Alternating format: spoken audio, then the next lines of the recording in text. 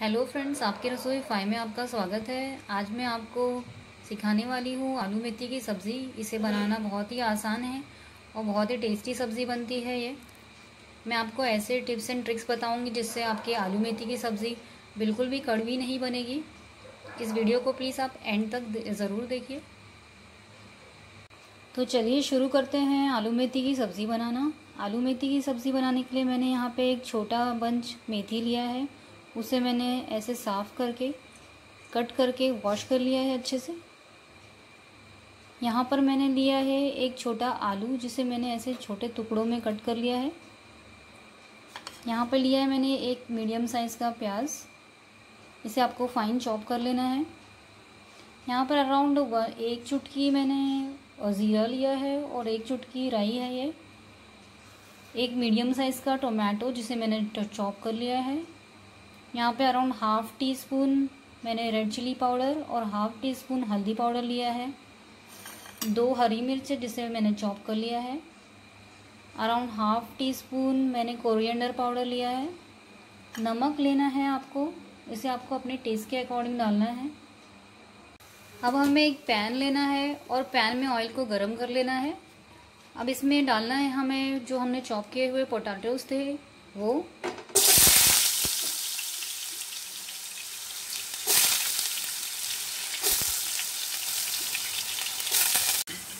Potatoes को हमें बीच बीच में स्टर करते हुए गोल्डन ब्राउन होने तक फ्राई करना है।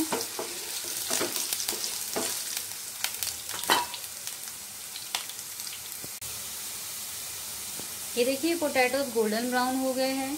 अब हमें इसे निकाल लेना है।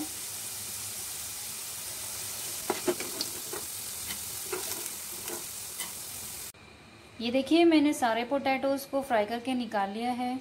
अब हम इसे साइड में रख देंगे। और आगे का प्रोसीजर करते हैं। अब पैन में जो बचा हुआ ऑयल है, उसी सेम ऑयल में हमने जो ज़ीरा और राई लिया था, वो डाल देना है। ये देखिए, जीरा राई हमारा क्रैकल हो गया है।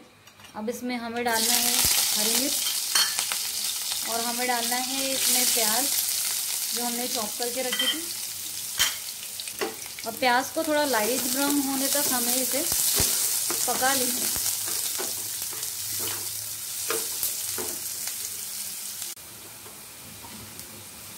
ये देखिए, जब आपका प्याज इतना पक जाए, तब आपको इसमें डालना है हल्दी पाउडर और मिर्ची पाउडर, धनिया पाउडर और नमक आपको आपके टेस्ट के अकॉर्डिंग डालना है।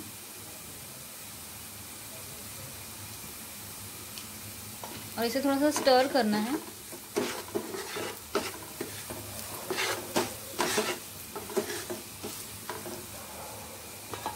अब हम इसमें मिलाएँगे टोमेटोज जो हमने चॉप किया था। और इसे फिर से स्टर करना है।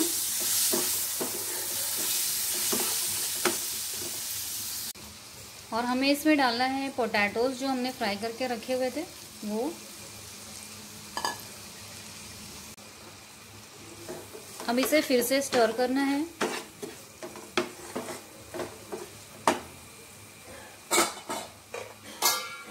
इसे कवर करके जब तक पकाना है, जब तक पोटैटोज गल ना जाए।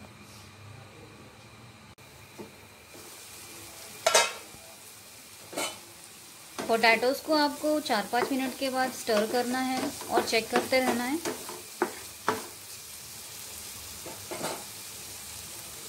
चलिए पोटैटोज को चेक कर लेते हैं।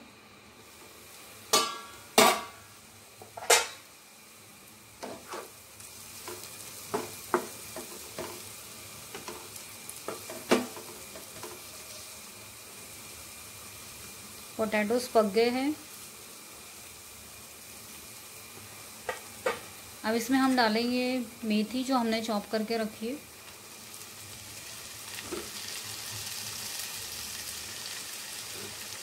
मेथी डालते ही आपको गैस के फ्लेम को हाई कर देना है और इसे हाई फ्लेम पे स्टर करते हुए ही पकाना है।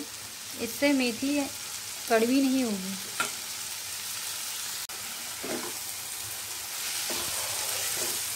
ये देखिए आपको इस तरह से इसे हाई फ्लेम पे ही स्टर करते हुए पकाना है।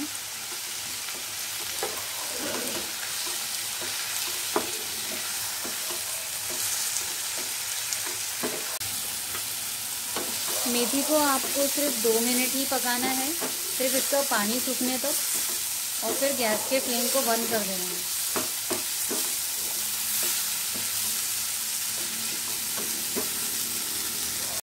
ये देखिए, आपके आलू मेथी की सब्ज़ी रेडी हो गई है और मैंने गैस के फ्लेम को बंद कर दिया है।